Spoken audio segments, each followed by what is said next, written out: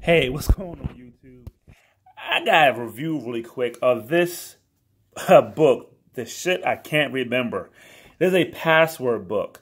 Um, I got this password book because, you know, the one I had was falling apart, and I bought another one from Amazon, and I just want to check this one out.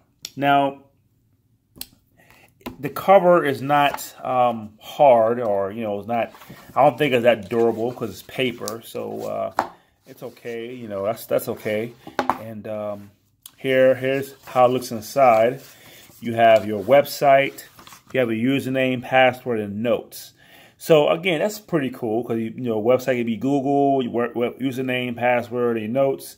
Um, so it's it's pretty good. Um, I wish it was a little more durable because these password books, you, you think about it. I mean, you're gonna be, you know, you're going to be writing in this a lot. You got to think of all the passwords you have and passwords that you change. So on your notes, you can write, um, you know, let's say you change your password to your, your famous shoe store. You can write no longer valid, you know, C page, whatever. You got page numbers, but these patterns work anymore, and you write the new one down.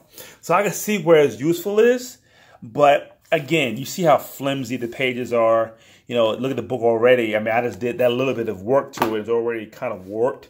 So um, it's okay. Um, I wish it'd be a little better, but it's okay. It, it gets the job done. But again, you know, um, you know, you want something durable. You want something to last you years because this this password book you're gonna have for a long time, and it's gonna be shuffled around different places, closets book bags, whatever. So, and safes. Now you just write in here really quick and put in your safe, that's fine. But, you know, I forget stuff all the time. So, let's do a little review because I just there's, there's no video about password books or how it looks, but you know, it's it's paper. This is really paper. So you see already, you know, it's already getting warped already. I mean, I just just barely touched it, and you see the paper is already fold it up unless I push it down and it goes back down. But you, can already see it'll be warped pretty quickly. Um, I think it was five dollars, so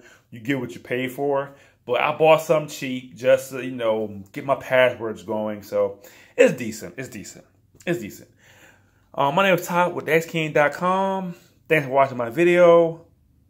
See you next time.